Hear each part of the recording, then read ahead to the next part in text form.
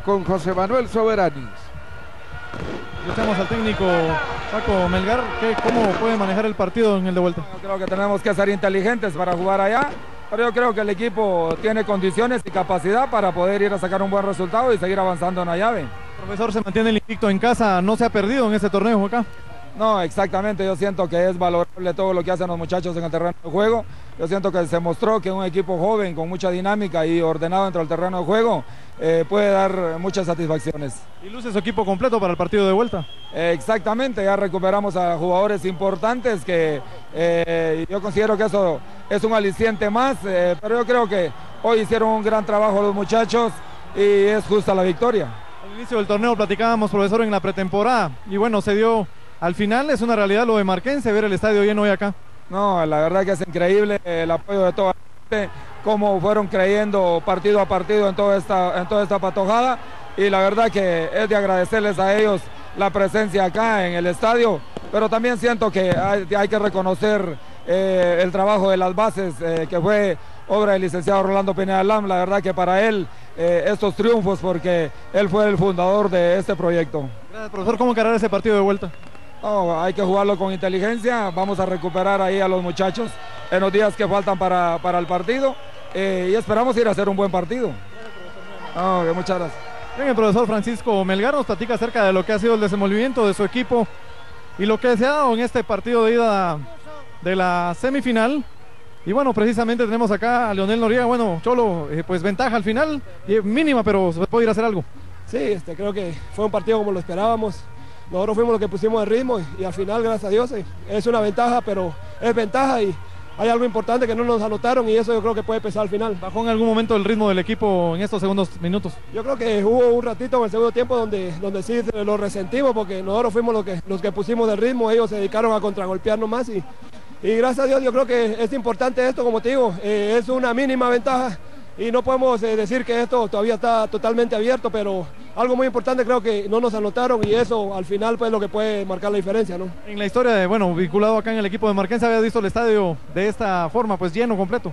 Eh, sí, quizá un par de veces cuando vino Pachuca, cuando jugamos la final contra, contra Chela, pero hoy fue, hoy fue impresionante, hoy el apoyo de la gente, sentimos ese cariño y a toda esa gente que vino desde la una de la tarde, estaba en el estadio, va este triunfo y que, que lo disfruten. ¿no? A recuperarse, bueno, y a replantear ese partido de vuelta. Sí, sí, ahorita eh, venimos de un trajín fuerte de miércoles, domingo y pues estamos un poco tocados, pero bendito Dios, yo creo que hay mucha juventud y, y vamos para adelante y ahorita lo importante es eh, pensar en el día sábado y que, que sí va a ser difícil, pero no va a ser imposible. Gracias a ti. Bien, Leonel Noriega, capitán del equipo de Marquense, ya los jugadores del equipo de comunicaciones pues se han retirado del terreno de las acciones, pero está por acá un el anotador del único tanto de este partido. Joaquín Quincho Álvarez, vamos a abordarlo para poder platicar con él y tener también las impresiones acerca eh, pues, de los experimentados que tiene este conjunto de Marquense en este torneo y lo que ha sido pues el trabajo que se ha desarrollado precisamente acá en el Marquesa de la Ensenada. Boletos y, viniendo al estadio desde las 3 de la tarde, yo creo que salieron satisfechos de que el equipo siempre da su mayor esfuerzo. Quincho, definitivamente bueno, es una ventaja mínima, pero al final se tiene. Sí, porque el, equipo, eh, eso era el objetivo principal, eh, ganar acá. Ya en Guatemala, pues ahora ya tenemos que ir a jugar otro partido distinto donde realmente tenemos que ir a manejar los tiempos, eh, el orden va a ser muy importante para que, para que podamos estar en la final. Bueno, ¿y qué hacer en ese partido de vuelta? Hoy se hizo el gasto, incluso pues se, se perdió a veces el ritmo del partido, ustedes lo tenían. Eh, fue un ritmo importante que se le metió al, partido, los jóvenes pues siempre tienen esa, ese ímpetu y esa gana, entonces se aprovechó desde un principio, el equipo salió siempre a, proponer, a jugar, a, darse por completo, a disfrutar realmente estas semifinales y, yo creo que el público agradecerles realmente a, que hicieron su esfuerzo, ¿verdad? Porque están acá desde las 5 y media de la mañana comprando sus boletos y desde las 3 de la tarde ingresaron al estadio y pues yo creo que vale la pena esforzarse un poco más por, por toda esta gente. Y que al final, bueno, le respondió el público a ustedes y ustedes también le retribuyeron, mantienen el invito en casa. Eh, sí, eso era el, objetivo principal, como te digo, eh, mantener siempre el, el, marcador a favor acá en nuestro, en nuestro estadio y pues yo creo que se logró, se logró y pues se hizo un bonito partido también. Bueno. Bien, Quincho Álvarez ahí dando las declaraciones de lo que eh, platican acerca de lo que ha sido el desenvolvimiento del equipo de Marquense en este torneo. Así que 1 por 0 gana el partido el conjunto de Marquense y se espera todo para el partido de vuelta el próximo sábado, 8 de la noche en el Estadio Nacional Mateo Flores y este, este jueves el partido a las 13 horas. Heredia enfrentando a un municipal, la otra llave del torneo Apertura 2013. Continúo con usted, Gustavo, para el cierre de la transmisión. Eh, a José Manuel, retorno ahí 50 kilómetros hasta su sede de operaciones en Quetzaltenango. Y comunicaciones, pues eh, se quedó corto en cuanto a crear jugadas verdaderamente netas de gol, porque una cosa es tener dominio como lo tuvo en el segundo tiempo, en buena parte del segundo tiempo.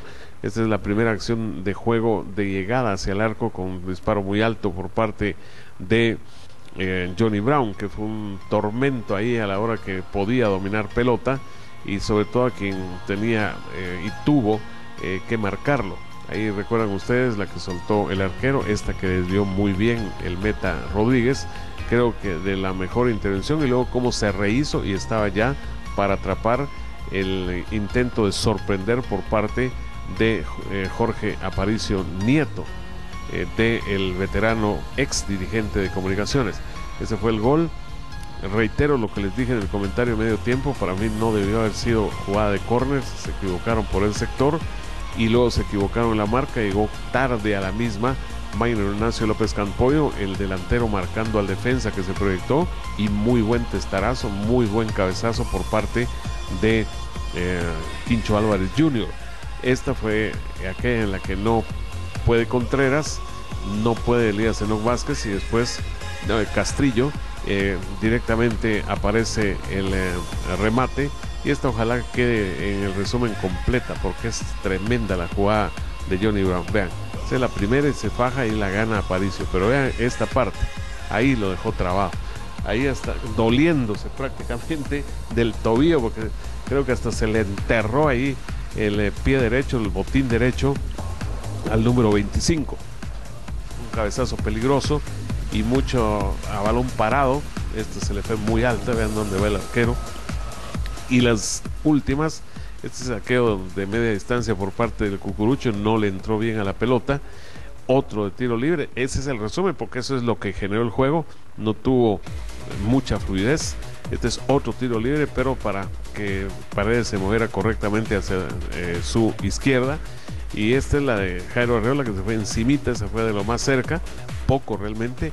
Y Comunicaciones, ojo, porque lleva dos partidos sin conseguir anotación el equipo que más goles hizo dentro del torneo, pero con aquello de que seis se los hizo a Malagateco y siete se lo hizo a Mictlán dentro de esa larga cosecha. Eh, vean, faltas, esas son las que están registradas que pitó el árbitro como tal, es un total de 37, una barbaridad. Eh, ocho tarjetas amarillas y eso que el árbitro se comió por lo menos dos en un inicio del juego. No las sancionó como tal, faltas que eran para amarilla. Seis fueras de juego por el lado de comunicaciones. Eh, dos no eran y así lo sancionó cada uno de los asistentes. En tiros al arco pues se quedan de la mano en 5 y 5 y en corners más del lado de Marqués porque aparecieron corners para comunicaciones hasta en el segundo periodo. Muy bien, los primeros 90 minutos de esta llave semifinal se han cubierto en el estadio Marqués de la Ensenada como hace mucho tiempo no se veía desde aquella final contra Chela que fue muy amarga para ellos. Mañana usted recibirá por canal 13 a